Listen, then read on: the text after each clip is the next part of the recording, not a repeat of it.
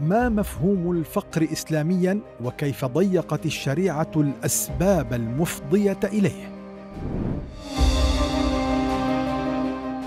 أي ثمار مجتمعية وأخلاقية لشيوع الفقر في المجتمع؟